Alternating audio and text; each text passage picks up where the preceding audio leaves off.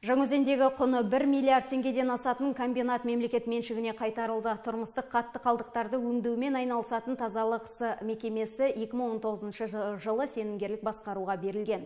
Жаңөзен қаласының прокуратурасы жеке меншікке беруге негіз болған міндеттемелердің орындалмаған анықтады, яғни мүліктік кешен арнайы техникамен толық қамтылмаған, қалдықтарды қайта өңдеу өндірісі кеңейтілмей, полимерлі құбырлар өндірісінің жұмыс істемегені белгілі болды. Соған сәйкес Жаңөзен қаласының әкімдігі аудан аралық экономикалық сотына сенімгерлік шартты тоқтату туралы талап арыз беріп, ол толығымен қанағаттандырылған.